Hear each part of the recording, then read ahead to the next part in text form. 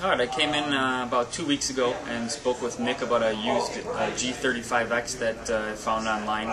He had the car available for me. We test drove it. Uh, really liked the car, and I liked Nick. He was very no pressure. Uh, didn't sell me anything that I, I didn't need. He listened to what I wanted and uh, got me a great financing rate. Actually, the, the rate was better than you usually find for some new cars. Um, gave me a great price on the car. I traded a vehicle in here that they gave me a great uh, trade-in for, and uh, just came back today.